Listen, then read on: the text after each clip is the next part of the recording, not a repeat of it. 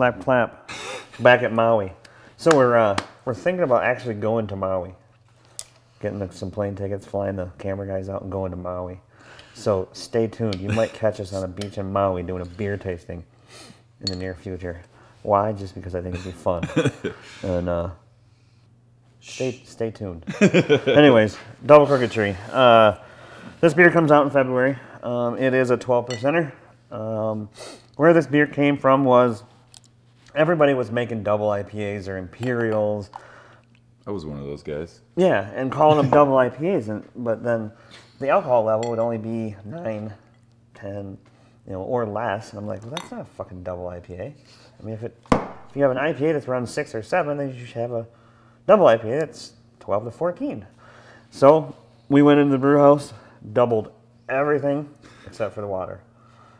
Out came double crooked tree. So you have the crooked tree recipe doubled, all but the water. Um, which, as you can figure, is a giant malt. Oh shit! Let's man. chug them. Let's Wow. go. Here we go. Double crooked tree. Now I'm getting into camera, camera cruise beer. They're like, fuck, stop opening those. Um, so you get a giant malt hot bomb. Um, Yeah. but what's nice about it is you get such a huge malty beer and such a highly hopped beer that the two balance each other out. Well, and developing this recipe Ah, too, something that's so cool. Not only is everything doubled, but even it down into the dry hop. So this beer gets double the dry hop in two different spots. So so Crooked Tree will get its dry hop, which is a very healthy dry hop for its aromatics and pushing those that hop or that perceived bitterness. You know, because they're not. It's not huge BUs uh, for for you know that bitterness that that some some beers you, you know you grab that and it's just hop. It's like you know chewing on hops not fun. I've done it quite a bit to you know try and understand what the hell. I, I've never uh, understood those people like, oh yeah, man, higher the IBUs, the better. So so but the Okay. but the dry hop, you know, I mean, and seeing you just stick your nose into it, you know, I mean, it's it gives you that it's Such that a good, wow. good fucking know? aroma. That citrus, pine, orange, grapefruit. Yep, and that sweetness you can you, you Almost- get it just under there, but Yeah, you can almost see like hard candy when you smell. Imagine Mm-hmm. like orange, pineapple, pine, citrus candy. sounds like something for the Emporium. yeah. Um, so double crooked tree comes in, uh, like I said, 12% alcohol by volume. So it's not, you know, it's not a, a I'd say beginner type of thing to go after. Um, but everybody watching this knows exactly what I'm talking about.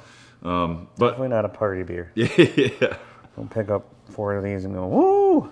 the the first time Aaron made this beer, I was at a location not Maui, and came over to to a very excited Mr. Morris to say, "Dude, try this." Needless to say, I stayed somewhere And I on that kept same handing- I dirt floor. Handing them to them saying, here, try another one. yep. I don't know how many you But- drank that night. But yeah, too many. I can I can almost remember that. Hence why he many. works here now instead of over there. but uh, but no, the, the the other thing too is we were we were actually just talking before we um, um, fired these up. Um, this beer, yes, it's hoppy, and yes, those aromatics are really something to be desired, and the bitterness is something very nice, and how it runs with the malt character. It's it's really a, a well put together beer. I mean, Crooked Tree being my favorite beer on planet Earth. Well, of course, I'm ready to triple this stuff. We just need a bigger mash tun. Quad. so, but uh, but also we, what we were talking about was this beer can lay down. It can it can be aged. It can it can sit down. You know, but but if you're gonna lay it down, you know, you buy it in February, nice and fresh, and decide that you know. Drink a couple of them. Yeah, get a couple of those and, and lay a few experience that hoppiness, that, that that that bitterness, those great aromas that we're just speaking of, um, and and you know set a couple aside and revisit them. You know maybe next February when when this beer is fresh again, go grab it again and do a side by side. And and and what we kind of want everybody to know is that it's it turns into a barley wine essentially. I mean, the preservative value of the 12% alcohol, how much there's so many hops in this thing. I, I think it'll last 50 years. You know, I, I mean, I've got one of the originals still on my desk that shh, nobody knows about, and that's getting to be you know nine years old now. Yeah. And I bet you I could crack it, and it's gonna taste uh, like a really good beer. It's not going to taste like this beer, but it's going to taste like a really nice barley wine, you know, and, and go from there. But but that's something I guess just from you know when you see double IPA and some of those beers out there, including Double Crooked Tree, you know, don't don't go and open that bottle six months eight months down the road and expect what you're going to get in February.